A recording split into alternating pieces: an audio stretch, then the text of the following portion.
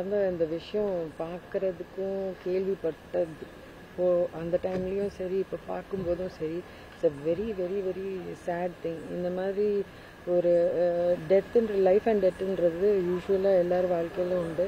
ஆனால் இவ்வளோ சின்ன பொண்ணு பதினஞ்சு பதினாறு வயசுனாங்க உள்ளே போய் பார்த்தா இன்னும் ரொம்ப குட்டி பொண்ணாக தெரியுது. இட்ஸ் வெரி சேட்னிங் ஒரு அம்மா அப்பாக்கிட்ட என்ன ஆறுதல் கொடுக்குறதுன்னு தெரியாமல் uh, கொஞ்ச நேரம் உட்காந்துட்டு வந்தேன். நம்மளால் முடிஞ்சது இப்போதைக்கு அவங்கள நம்ம எல்லாரும் இருக்கோன்றதை காமிக்கிறது மட்டும்தான். சூசைட் இவ்வளோ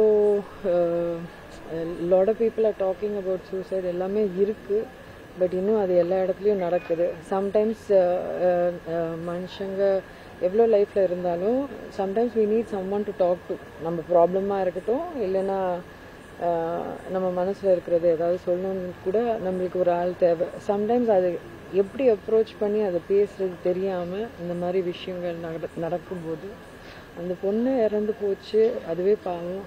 ஆனால் இனிமேல் அந்த அப்பா அம்மா அந்த குட்டி தங்கி தங்கச்சி அவங்கெல்லாம் இதை தாங்கி இதை எப்படி தாண்டி வர போகிறாங்கன்றது தெரியாத விஷயம். நம்மளால் முடிஞ்சது யாராவது வந்து நடுவில் நடுவில் பார்த்துட்டு இவங்களுக்கு ஆறுதல் கொடுக்குறது தான் நம்மளால முடியும். So I just pray for this family I pray for mainly for lot of strength for the father and the mother and the sister may God bless them and give them all the strength any ஒரு துயரமான நாள் இன்றைக்கு. காலையில் ஏற்க மனசுலேயே என்னால் அது இன்னும் அதுலேருந்து மீளவே இல்லை. காலையில் ஒரு ஆறு மணிக்கு ஒரு ஃபோன் வந்து இசையமைப்பாளர் நடிகர் விஜய் ஆண்டனியோட மகள் வந்து மாயமாயிட்டார் மறைந்து விட்டார் என்ற செய்தி கேட்ட உடனே வெகு வாழ வேண்டிய வயசில் இப்படி ஒரு இறைவன் அவங்கள கூப்பிட்டது மனவேதனை அளிக்குது. அந்த குடும்பம் அந்த குழந்தைய அவ்வளோ செல்லமாக அவ்வளோ பாசமாக வளர்த்தாங்க.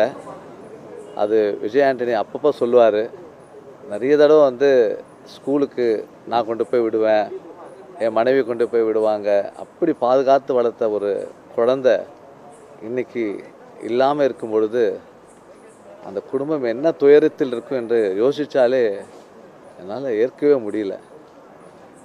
இந்த குடும்பம் யாருக்கும் வரக்கூடாது. அதாவது ஒரு வயசுக்கு வந்த ஒரு பெண்ணோ ஆணோ நம்மளை விட்டு பிரியும் குடும்பத்தை விட்டு பிரியும் பொழுது இது எல்லாமே இழந்த மாதிரி நமக்கு தோணுது. இந்த மாதிரி எங்கேயும் நடக்கக்கூடாது என்று இறைனை வேண்டிக் கொண்டு விஜய் ஆண்டனி குடும்பத்தாருக்கு என்னுடைய துயரன் அஞ்சலியை தெரிவிச்சுக்கிறேன்.